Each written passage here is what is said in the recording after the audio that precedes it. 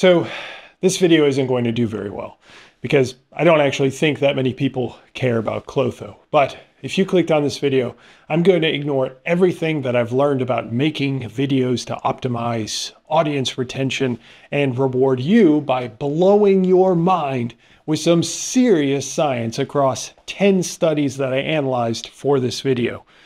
We're going to go on a journey, you and me. Yes, it's going to be complex. No, it's not going to be easily digestible. And I don't give a damn. Let's PhD this, and I'll try my best to walk you through the complexities. If you accidentally clicked on this video, Klotho is a protein secreted by your cells that has some fascinating science indicating it packs a serious punch in protecting your brain from developing dementia, especially Alzheimer's. In fact, this includes the devastating ApoE4 versions of Alzheimer's, which is especially intriguing. Check this out. In this study that I just referenced, researchers recruited people with a high likelihood of developing Alzheimer's because they have one gene of ApoE4, which is a heavily implicated gene in developing Alzheimer's. They then split these people into two groups. One group had normal Klotho expression, meaning they produced normal amounts of Klotho protein.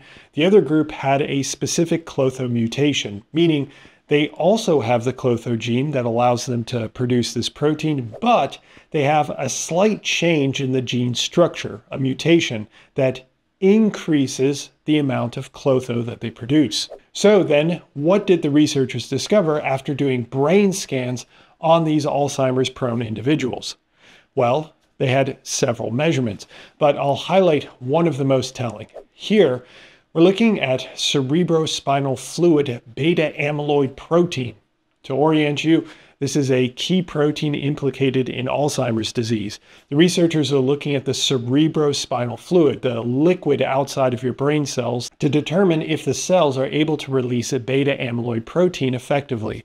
The blue bars represent people without this genetic Alzheimer's risk because they do not have copies of ApoE4 gene that we mentioned earlier.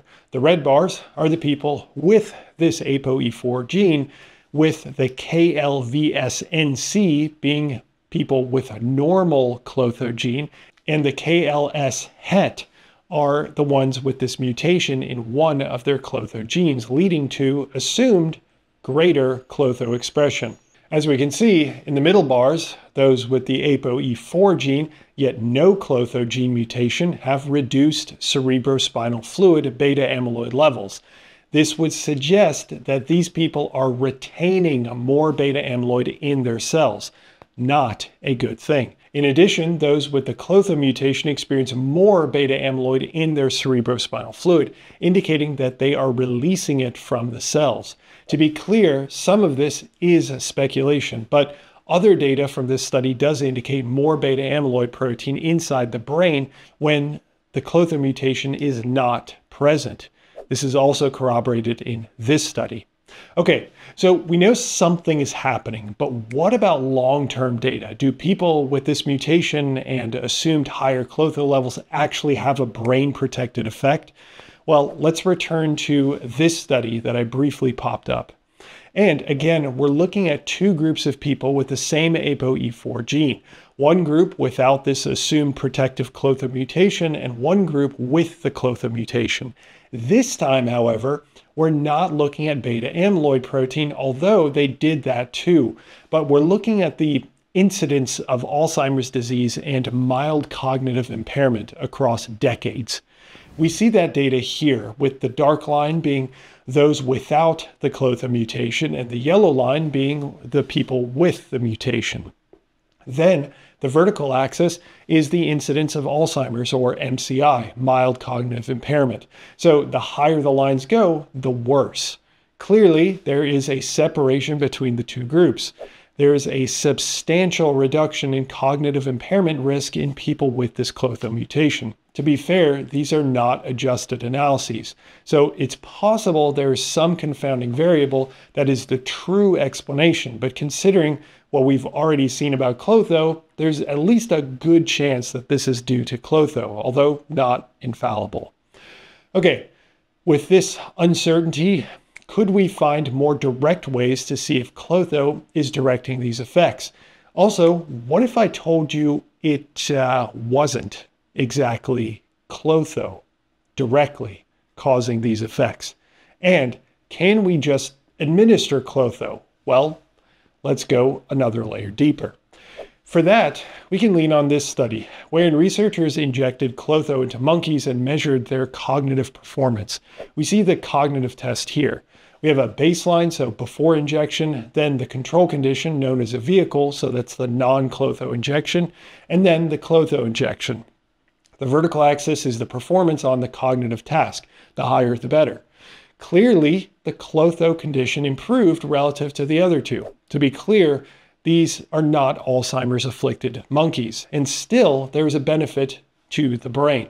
But other studies like this one investigate the effect in other animal models and confirm the Alzheimer's effects, including Alzheimer's specific mechanisms, which I can cover in the future. For now, we understand that Klotho has likely a direct cognitive benefit, but I did tease that this might be a bit misunderstood.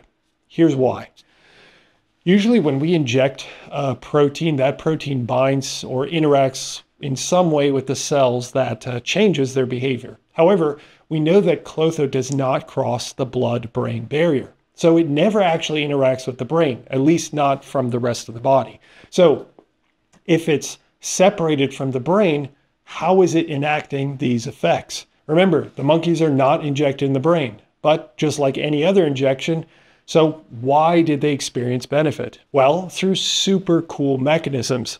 So since this video is already going to tank, let's go another layer deeper and maybe we can drum up some complaints about how this is too complicated in the comments.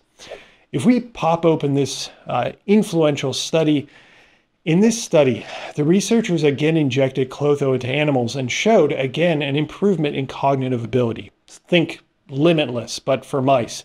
These mice started beating the researchers in chess and seduced their wives with their superior intellect. Anyway, they also analyzed what other molecules are highly expressed after injection of Klotho, and they discovered that multiple molecules related to platelets were highly expressed. Platelets are the cell fragments that circulate in your blood, and when activated, begin the clotting cascade, meaning that they clump together to create clots. That, without context, sounds scary, but activating platelets can mean many things. And in this case, Klotho seems to directly activate platelets in the blood, indicated here. Here we're seeing researchers measure blood platelet factor 4, so PF4, a marker of platelet activation with vehicle or control injection and with Klotho injection. The Klotho injection leads to a rise in platelet factor 4, indicating a likely activation of the platelets in the body. However, when the researchers use a platelet activation inhibitor, on the right there, there is no increase in platelet factor 4. In addition, when taking absolutely gorgeous brain slices on the right side, we see the researchers are using different color markers to identify different sections of the brain. The red one is the one indicating the platelet factor 4 or Klotho or vehicle. So in both Klotho and vehicle, we see only a background of red. However, we see large amounts of platelet factor 4, PF4. This confirms that Klotho likely doesn't cross the blood-brain barrier and PF4 does, which is how Klotho at least provides some of its effects. In the image on the left, which I added simply because it's, well, a beautiful image, the orange areas are the PF4 tag.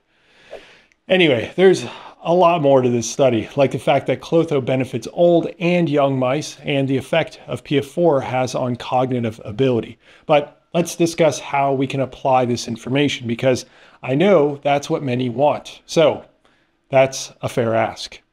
Well, look, we haven't gotten to the point where we're injecting people with Klotho, but I would not be surprised if that's coming. That said, that doesn't mean there isn't something else that you could do to improve Klotho levels. In fact, exercise increases Klotho levels, and I won't bog you down with some of the details on this specific analysis, although there are some minor errors in it. The results are likely still sound. Namely, exercise raises blood Klotho levels. We see that here.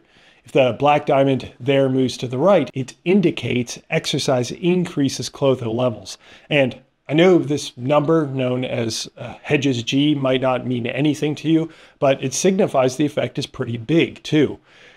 Let's get into the uh, type of exercise too. Before we do that, if you're a Physionic Insider, I'll be covering how to identify the Klotho gene, to identify if you have the protective mutation or not. In addition, I'll be covering uh, some more details on increasing Klotho through exercise, like is there an upper threshold? Is it raised more in some people than others? If you're interested in that, uh, plus the podcast, premium videos, summaries, research reviews, and more, be sure to join. The link is in the description. I would love to have you aboard the Physionic Insider train. Okay, now, what type of exercise? Well, that same analysis broke studies up by the type of exercise, from endurance, long distance uh, exercise to resistance training. Overall, resistance training had the more robust evidence pointing towards a Klotho raising role. However, endurance exercise also raised Klotho levels.